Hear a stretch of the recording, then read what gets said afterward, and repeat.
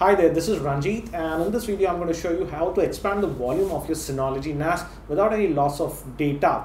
And a couple of weeks back I showed you how to migrate from one Synology NAS to another Synology NAS and in this video we're going to expand the volume. For example, uh, this will be ideal for people who have higher bay uh, NASs. For example, let's say you have a 4 bay NAS and currently you are just populated uh, the NAS initially with just two disks but now you feel that uh, uh, your storage requirements have increased and you want to expand the capacity of Synology NAS. Uh, fortunately, if you're using the Synology hybrid RAID, you can just easily expand the volume by populating the other two drives or a, a third drive, for example, in a 4-bay NAS. Uh, for me currently, I'm using a 4-bay NAS and I have two drives populated. And what we are going to do uh, here is add one more drive, that's a third drive. And this can be done without the loss of any data. And I'm going to show you how to do it step by step. One thing you need to note is that uh, the minimum capacity of the hard drive that you need to put is, for example, uh, in our case, the first drive was a 2 terabyte drive and the second was a 3 terabyte drive. Now, if I want to populate the third or the fourth drive, the minimum capacity of the disk that I have to put is a 3 terabyte drive.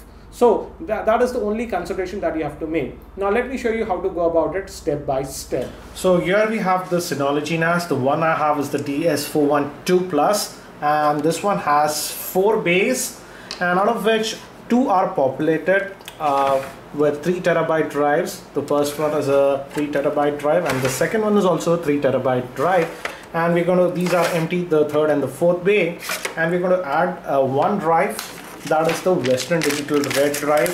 Again this is a 3 terabyte drive.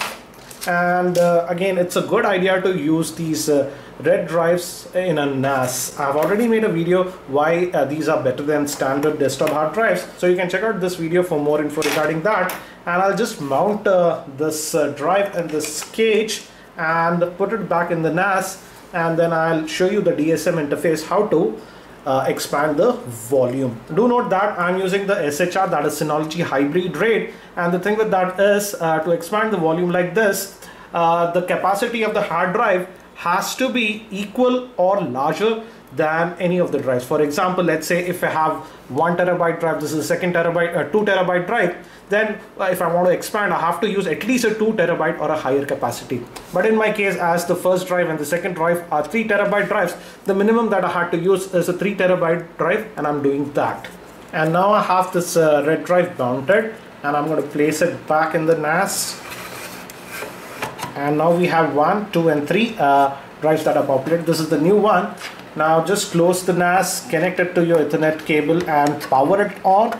And now you need to log on to the DSM interface and I'll show you how to expand the volume. And uh, I'm assuming that your Synology NAS has booted.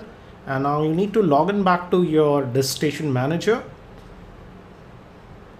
And I'm just logging in and if you might notice your NAS depending on your NAS now the new drive should light up uh, but it's not usable right now. To use it you need to go to the storage manager like this. And let me bring it here.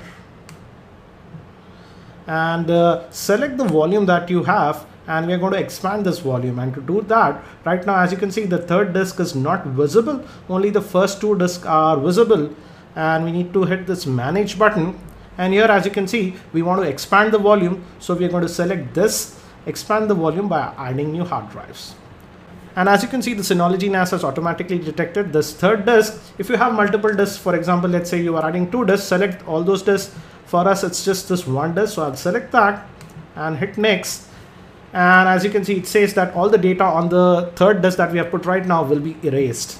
And I'm going to hit OK and now uh, as you can see now it's expanding the volume. And now after expansion I'll have 5.4 terabytes of uh, storage. Earlier I had about just 2.7 terabytes.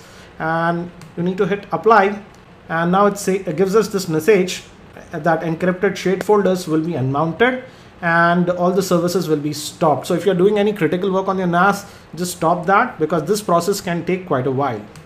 And uh, now it's confirming this and now it's actually going to expand the volume again depending upon the size of the disk that you have this can take couple of hours so you need to be patient so this is how you expand the volume on a Synology NAS you can see, uh, my current capacity on this NAS is 2.68 terabytes, but after the expansion is completed, uh, I'll have around 5.6 uh, terabytes of uh, space. Again, as you can see, it's going to take a lot of time. It'll take at least a couple of hours and the time it takes depends upon the size of the disk for personally for me as i was using a 3 terabyte disk it took almost about 32 hours for the volume expansion to happen so it's a good idea to do this procedure when the NAS is not going to be used heavily because I noticed that during the time of expansion, the transfer speeds fell, uh, fell to one third of the original speeds that I used to get. After the expansion, everything worked normally though.